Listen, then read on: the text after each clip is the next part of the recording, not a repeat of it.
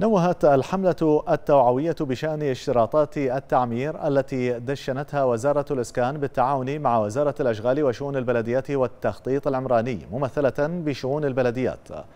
نوهت لجميع المستفيدين من الوحدات الإسكانية أن وزارة الإسكان حرصت عند أعدادها للمخططات الخاصة بمدن البحرين الجديدة ومشاريع المجمعات السكنية أن تتضمن المقومات اللازمة لكافة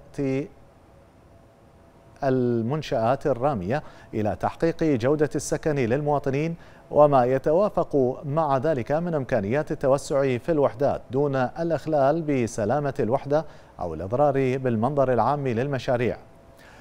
هذا وكانت وزارة الإسكان وبالتنسيق مع وزارة الأشغال وشؤون البلديات والتخطيط العمراني قد أجرت العديد من التعديلات على الاشتراطات التنظيمية للتعمير في المناطق الإسكانية والتي تمثلت بإلغاء البند المتعلق بحظر البناء خلال السنة الأولى من استلام الوحدات الإسكانية بهدف منح المواطنين المرونة في التوسع بالوحدات وفق احتياجاتهم مع ضرورة مراعاة المتطلبات الخاصة بالاشتراطات التعميرية.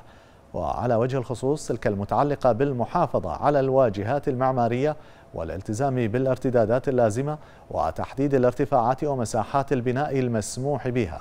مبينة الوزارة في الوقت ذاته على أنها رصدت مجموعة من الممارسات الهندسية الخاطئة من قبل بعض المنتفعين أدت إلى حدوث تصدعات في جدران وحداتهم السكنية وأنزلت أضرارا كبيرة في بنيتها التحتية.